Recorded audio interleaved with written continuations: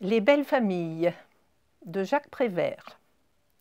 Louis I, Louis II, Louis III, Louis IV, Louis V, Louis VI, Louis VII, Louis VIII, Louis IX, Louis X, dit le hutin, Louis XI, Louis XII, Louis XIII, Louis XIV, Louis XV, Louis XVI, Louis XVIII, et plus personne, plus rien. Qu'est-ce que c'est que ces gens-là? Qui sont même pas foutus de compter jusqu'à 20